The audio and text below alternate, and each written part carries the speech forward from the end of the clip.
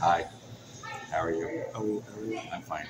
Good. We're not live. We're just recording I see the numbers moving. Yeah, we're cool. Yeah, good. Oh, oh, so, fine. so what we're doing because because uh, I don't want to say too much about too many things, but we have to actually record it and then post it and then put it up. So uh, whatever.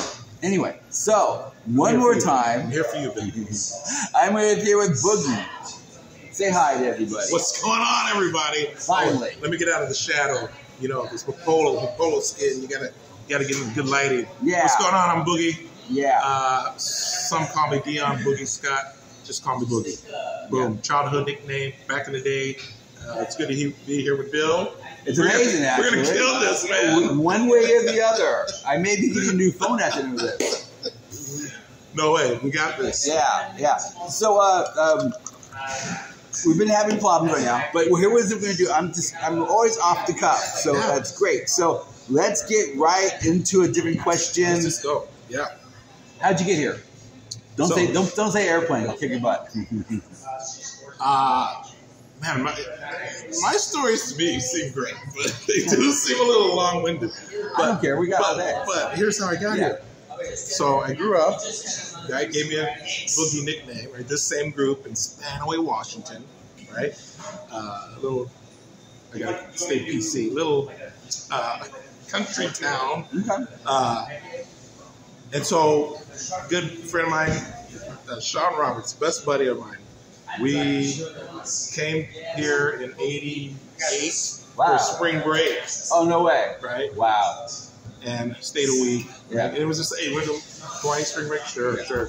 Yeah. And then uh, the following year, finished school and everything. He's done with uh, college is done, and he's working in his parents' printing shop, quick print. There was some quick prints here in Hawaii. That was the anyway. So he's in the shop, Yeah. and he's manning the family-owned shop. I come in, I got my guitar, Yeah. That's the time. How many uh, copies can you make? Like through the anyway, there's some downtime. That's what I'm Yeah. saying. Okay. So I'm in with my guitar. Yeah. We're bored. Next thing you know, behind the counter, out comes the tequila Oh. something, and he got fired um, From the family. from the family. and it was like, hey, hey, you want to move to Hawaii? That's what he tells me. You want to move to Hawaii? I'm like, sure, why not? It was just like that. Dude. And then in like '89, we ended up here in '89, and uh, he stayed a year, went back to Washington. I've been here ever since. man. Wow, wow. And then when did you think you could make a, or, you know, a living or, or a paying gig? Yeah. Yeah. So for those who are fortunate to catch the brief live, uh, I was, you know, I was talking about my dad being a musician in Quintones, doo-wop. wait, wait, yeah, yeah. One more time. Yeah. Do the dad part again. Yeah. Yeah. Into the camera. Yeah. So so so my dad, uh, Ronnie Scott, Ronald Leroy Scott, uh, late fifties, I want to say fifty eight, was in a in a doo wop group called the Quintones. Quin Q U I N dash tones, and uh, they charted number five on the Billboard with the, one of those wedding songs, "Down the Aisle uh, Love." Played the Apollo, the Coasters, these kind of you know these groups back then Wow. and uh, got uh, I think Chess picked them up briefly. They one hit, and you know how the business is. You don't produce another one. They found themselves without a, a contract, Yeah. and uh, Because I love all that stuff. The po- monotones, the Yeah. Platters, the coasters, the whole. so here, Yeah. here, so Yeah. here's the deal. He he goes into the Air Force. The band, you know, kind of breaks up. He goes in the Air Force, but he wants his kids to be about music. So he buys everyone. Everyone gets an instrument. I get the guitar. I was about ten years old. Get the guitar. Someone had a snare kit, bass. Uh, I'm sure. I'm sure my sisters had like something, microphone or anyway. And it was like we're going to be the next Jackson Five, right? Because this is the '70s, and uh, that didn't happen. But I stuck with it.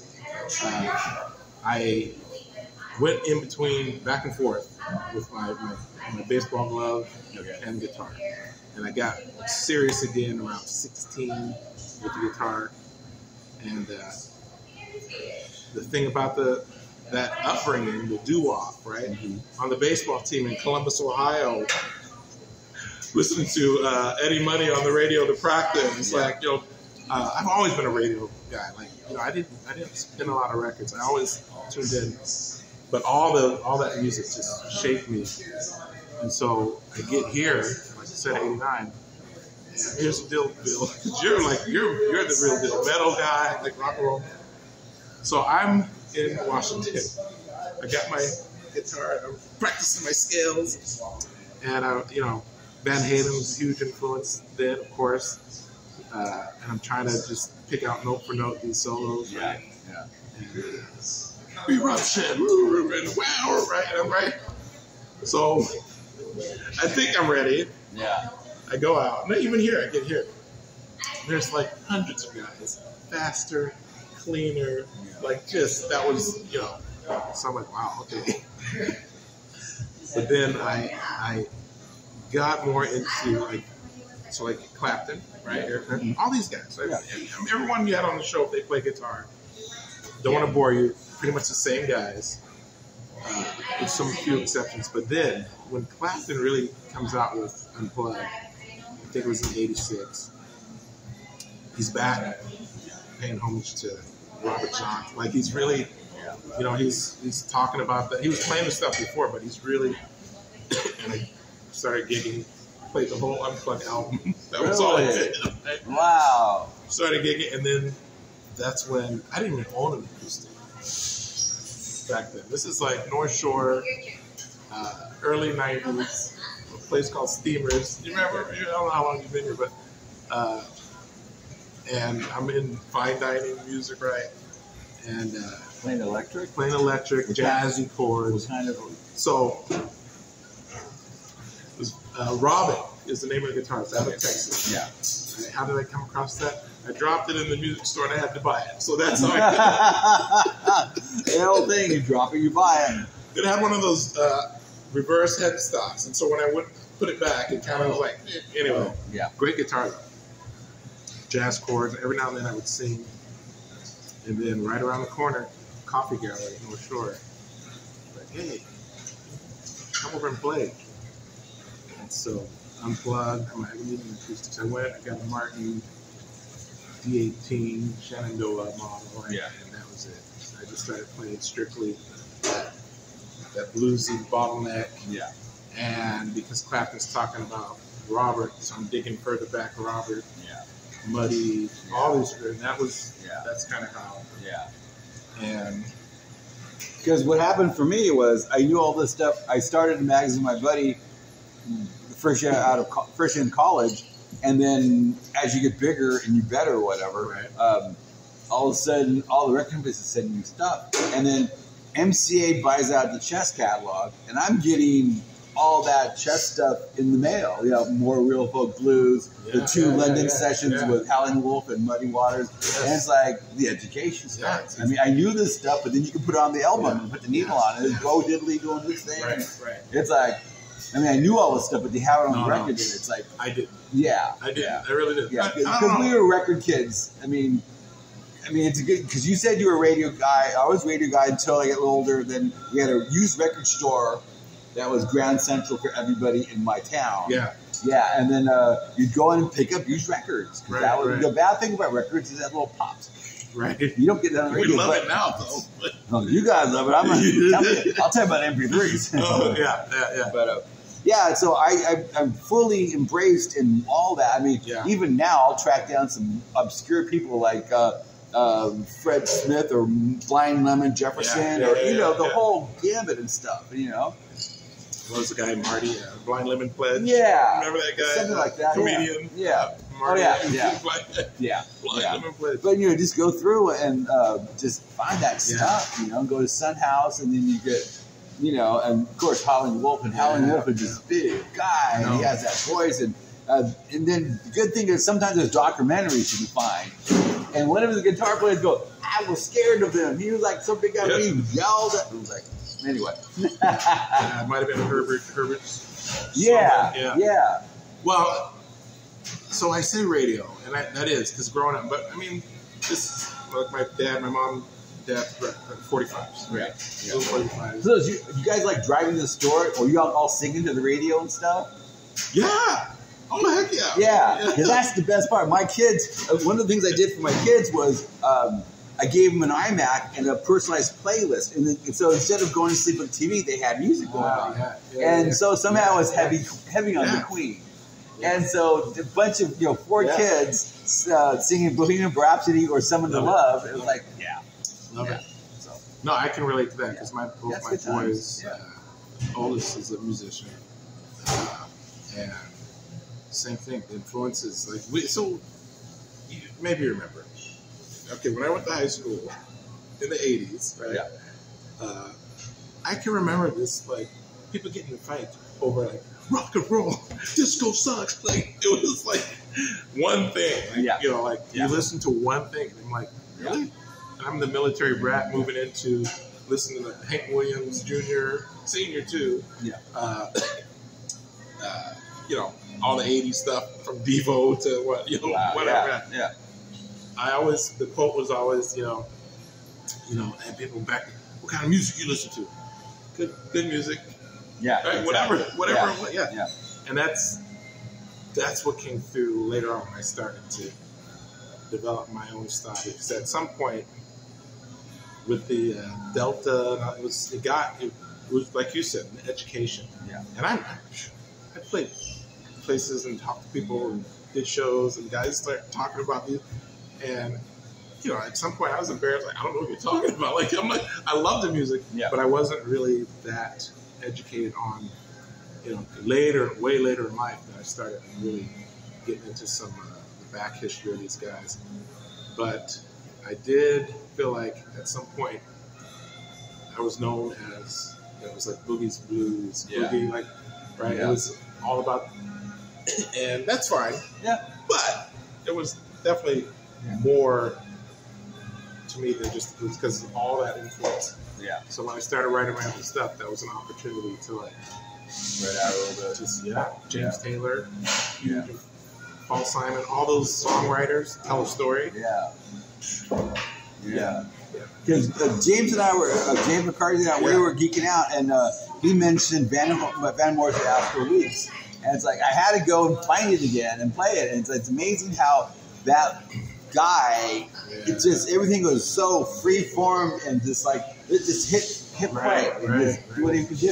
And so it's, it's more punk than people understand. I mean, as punk as a feeling or an attitude, right, not right, as like, right. but yeah. No, I, I, I because you know for me it's music is an expression. And whatever you in that moment that can be the expressive thing.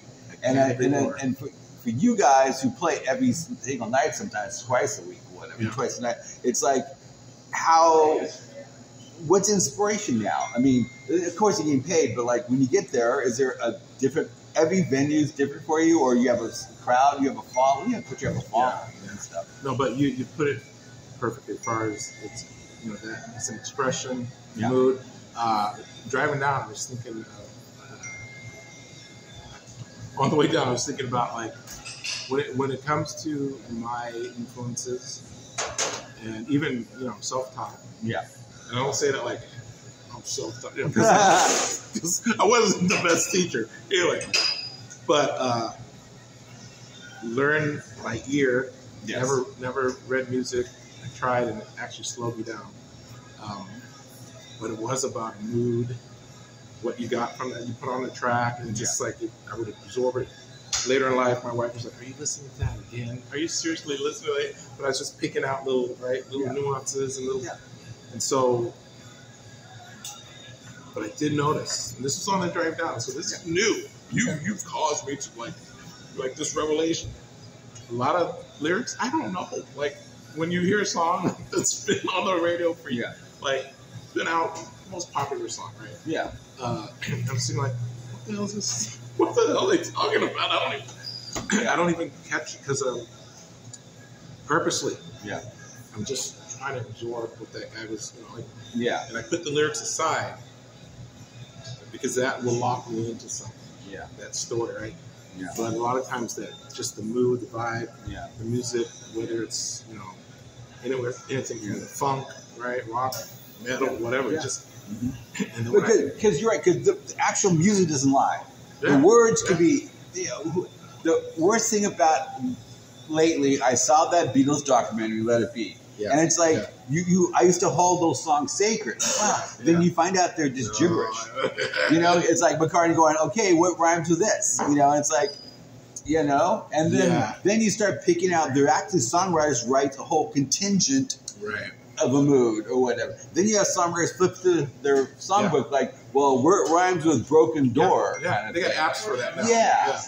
But it was good. So, because I was never a lyric guy. I was, um, my first music experience with my dad, he was a jazz fan. Okay. And not like the Miles Dizzy's jazz. It was like the West Coast, Cal Oh, Tjader, wow. um, Yeah, um, yeah, Wes yeah, Wes Montgomery. Montgomery, yeah. yeah. So there's no music, there's no lyric, there's no whatever right. in there, right? And then all of a sudden we're we moved and from Monterey, and then we're driving to Grandma's house, and we get over the Shaker Pass, whatever, and it's like Wolfman Jack. If I'm lying, I'm dying. Here's the monotones of Book of Love, and then like, huh, huh? There are the people singing. What, what's the singing The stuff? Wolfman, yeah. Yeah, but then, Oh, my but because the doo-wop thing, early Elvis, and all- that was that was really cool because Yeah, it was yeah, yeah. it, um because music before then was just kind of you know straight laced Yeah, kind right, of right, blah right. blah. Then all of a sudden, little wireless came in, Yeah. and the doo-wop people like they're precursors to the rap guys. They're on the street corner doing the same thing. Exactly, yeah. But they're getting harmonizing together. It's not how low you can get with this. It was like Yeah. how your vocal melodies can blend together. Right. You know? So I'm named after Dion. Oh, really? Belmont. Yeah, yeah, yeah, yeah, yeah, yeah. I mean, he's like the, the hugest. Yeah. I mean, I mean all those guys are doing stuff, but he just somehow Yeah. did other things besides just that. He's doing blues now. Yeah. You know, he's doing blues. He was here at the Blue Note a couple years ago with us. Yeah, I think I get the stupid album kind of thing. I was like, okay, might as well buy it. Like, who's on this? Okay, right. but you know, it's cool. Yeah. Yeah. Yeah. No, And so, cool, so you're playing, right? Yeah. I mean, obviously, I've seen so many artists here, and somehow they start connecting. yeah. When does that vibe hit you? The Yeah. first you walk in, I'm boogie, and like, Yeah. or is it like all of a sudden you play that one song and everybody's going, Yeah, no, no. There's, there's uh, I don't know. Most of the, most of the musicians locally that I know are very humble. Um, yes, super, super humble. Not, not the guy that goes in and just like, look at me, here I am, I'm kill it tonight. Yeah. Most guys, you know, because Hawaii's a special place. You know, I mean, I could be, you know, right now I'm gigging mostly in Kaukago and New, New, uh, New Valley side. But back in the day, like when I was doing more, and if I got into Waikiki, and these guys will tell you, it's like, you don't know what you're getting. Don't know Lulu's. What are you getting? yeah, yeah, You know, yeah, what percentage is tourists? What percentage locals? But for me, I only do what I do. You're not going to No, catch yeah, me yeah, now yeah, playing to the crowd like, yeah. oh, let me throw some wine in here because it's a no, no, no. Uh, let me throw some, you know, some popular stuff. The only time I do that, I will, I will back up and, and call myself a liar. The only time I do that is with the Louis Armstrong. Oh I'll see Jesus again, right? That whole- no, no, you do. yeah, Really? but Wow. it's it's Yeah. more. I'll test the room, yeah, and especially if there's an older generation, I'll throw that out there, yeah, and then you get to ah, and then I can play whatever I want. yeah, right? yeah. But coming in, trying to be you know, Yeah. just humble. Uh, it's for me. I've played places. Here's where I played. You know, from good friend of mine who, who had a restaurant called Deb's Ribs, and she had her barbecue sauce and Sam's. I want you. I played at a restaurant. Can you come out? I'm a demo. Can you come play? Sure, sure, Andy. Right, sure, right. And I'm playing in between frozen food segments. The frozen. I'm like literally set up next to the frozen chicken. She's got meatballs in her sauce, and I got a little ham on plate. Like Yeah. from that, that right to like you know like glaze it right. Yeah. And it's one of those things that through the years I've learned how to. I think say read the room. Yeah. Like and that's any any profession really, Yeah. especially public speaking, or whatever. So this is this is a good sign that someone's like maybe not enjoyed right tapping, toe tapping. To this day, I still look for those little as I ease into it, warm my voice up. and everything. Yeah. And uh, I'll be honest, there's some nights that the way that the room is set up Yeah. maybe a little disconnect, right? A little Yeah. disconnect, so it's Yeah. harder to read. And then you just really, you kind of play for yourself. Mm-hmm. Yeah. Open up your eyes because you were into it. Yeah. And thing you know, like everyone enjoys. it. So, Yeah. Yeah. Because the thing about I'm gonna, I'm gonna say the word you guys here on this island, Yeah, I mean, yeah. they play. They really play almost every night sometimes, or five nights a week, and they'll pay to a captive crowd because either at a bar or a restaurant or something. And and most of these guys, especially the older guys, they'll like all of a sudden people are loving it. They're understanding. They're like, and they're because they're travelers and they're open to certain things. And then all of a sudden they're having dinner with their family or whatever, and this guy's singing, and they wow, this is kind of cool. No, okay. Saying that, Yeah. there's a whole group of new people coming up. What would you be your advice? So Because you, you, I mean, the, you, the, the, the Michael Pranas, the Stephen Yeah, yeah. you guys done it, and you're still doing it well. But there's a lot of these new kids coming up. so there's there's a guy, and uh, man, I don't want I don't want to stop from the, the flow to look up at Yeah. Jigar, J- Jigar. I can't. Sorry, brother, if you, if you see this. But here's the thing. I'm playing uh, back in '90. Uh, see, my kid was running around knocking over my guitar, so that was probably '98 when we first moved to Kailua side. Yeah. Playing at Aikahi, Muddy Waters, little shop, little coffee shop. Yeah. It's this big, dude Yeah. this is it, right? So we moved outside. Aikahi, Safeway, huge. Oh, yeah, I and, it, and it became this Friday night drive up blues night. And that's where I met most of the guys. Harmonica players came out in the woodwork. Yeah. And uh, so I tie this in with that question. This kid shows up.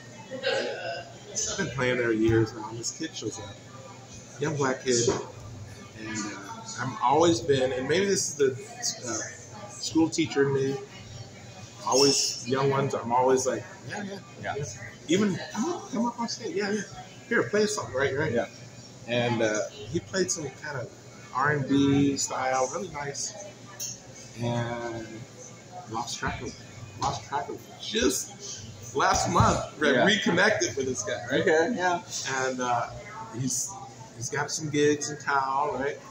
Uh, and he's like, man, I, I just appreciate you know what you did for me, right? And how. Uh, so that's probably one. I mean, you never, you always pay it forward. You never like, Yeah. it's not, you know, in, uh, you true to yourself. These are like the cheesy t-shirt type stuff. But in this, this industry, or this, you know, Yeah. what you put out really comes back. It really does. Because Yeah. think about like you, you, we know you probably better than I.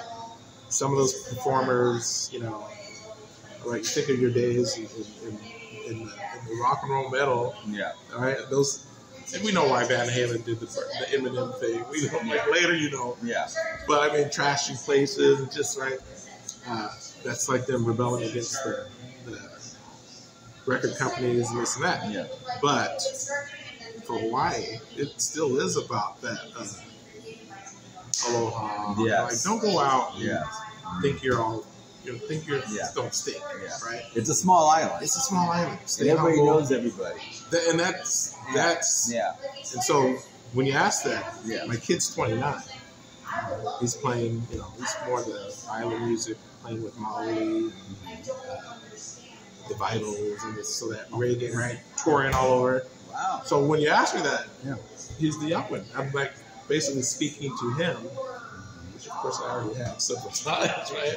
But he's a super humble guy. And we're gonna say his name so everybody knows. Oh, the Mad King, yeah, the Mad King, M A A D King, but Asaya, Asaya Scott. Yeah. Yeah, so he's killing it. Uh, he's on Maui. because that's the cool thing. Yeah. Because even like um, like Tavana or Kaimi, Yeah, their generations of musicians in their family. Yeah. And then Yeah. same with you. Yeah. And then it you know goes that way. It's in their blood kind of thing. So and that's the cool thing because you know I mean Tavana's third generation, Right. right? Yeah. You know, and so I mean uh, even like um, um, Kamawela, I Uncle Kimo's son, he's like third generation. His mom used to sing back backup for Elvis or something like that. You know, his dad. So it's good because it, it's in the blood And and, you foster it kind of thing. That's also like we were talking about the special like Hawaii. yeah, Uh, I don't know if you get that as much in the big cities. I mean, yeah, you like you know you get like oh Bob Dylan, his his uh, his Yeah, Dylan son Jacob, uh, yeah. And there's like Yeah. huge names. yeah, But I mean it's it's different here. Yeah. Yeah. as- and you can also be someone that uh, you know uh, known guys like Ledward, uh, Kaapana, who's taking guys under his wing. Yeah. Slack Key, Mhm. legend, right? Yeah. Uh, and we're talking about Halloween, like not you know what I mean like yeah. guys who Uncle Sonny with Makana. Yeah. You know, yeah. It's like perfect example. know, same thing with yours. It's good. Yeah. Hi, Makana. Sooner or later, we're talking, dude. Of, you owe me twenty bucks. Yes. I delivered your equipment. You owe me that. No, man. Uh, it, it, I like these questions. This is a good question. Making me. well, because it's, learn it's one of the things. about Like, myself. the whole thing about this is, is like one. I get to talk to you. Yeah. I mean, it's one on one at a beautiful place. The acoustics are great here. On this side, great, right? And then you know, it's like I'm a music fan, Yeah. uh, or um, Kalani Su. I'm a musicologist, but um, and I just like hanging out with buddies, and we don't get to hang No. out. Not it is an excuse for me to actually like hang out. And then the Right, other thing is, everybody over there seen all your photographs. Everybody seen, you know, Yeah. around the world Right. seen my. And like now they can connect. Like, oh, this is a real person. Right, yeah. You know, make it human kind of thing. This is important. But, but so no, so you're driving in the car, Yeah. going around. Are you still listening to the radio? So okay, so I went from the radio, yeah, and uh, you know, you get a little change in your pockets. You, back in the Yeah. cassettes, right? Yeah. So like most of us, the generation cassettes, Yeah. and then trans- CDs, right? yeah, By the time you get to the MP3s, yeah. I'm I'm like I'm not old, but I'm like, wait, there's there's too many steps in this. Like there's too many, and so I stuck with CDs for longer than most probably. Yeah. But um, here's here's here's my here's my cassette story. Right? So when I'm sitting there, I'm playing. You know, I'm, I'm like trying to pick out an Eric Clapton solo on a cassette. Rewind. Yeah, rewind, yeah, Right? And then for it starts to sound like that. Right? yeah, yeah, And uh, I think it was cocaine solo. yeah. Let- I didn't even know there's two guitar players Yeah. playing that one. Hold on, hold on, hold on, hold on.